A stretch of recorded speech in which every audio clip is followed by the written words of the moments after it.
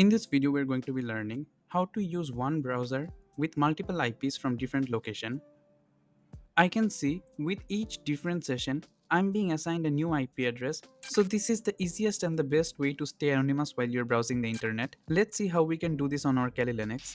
In order to use one browser with multiple IPs, we need to use the Tor browser. Tor is by default installed on Kali Linux. If Tor is already not installed in your system, then open your terminal and type the command sudo apt install tor browser dash launcher space dash y and then press enter.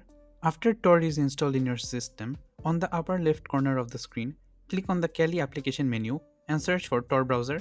As you can see, this is the icon of the Tor browser. Click on it to start it.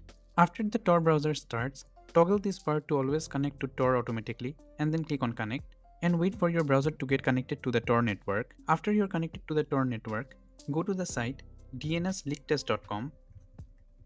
I can see since I'm using the Tor browser, my IP and location has been completely changed and it is showing me that I'm from Netherlands. So if you want to hide your real IP address and location, Tor browser is a really good option. Now we're going to see how to run multiple IP address from the same Tor browser. So I will open 5 tabs and go to the site dnsleaktest.com for each one of them.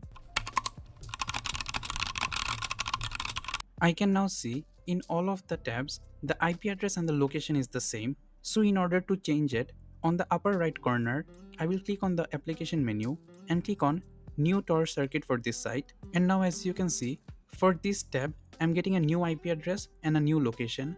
Now I will do it for the other tabs as well. I can now confirm the IP address for each of the tabs are different so this is how to run multiple IPs in the same browser. That is for the end of the video. If you like this video and want to watch more content related to Kali Linux or ethical hacking, please subscribe to the channel. Thank you so much for watching.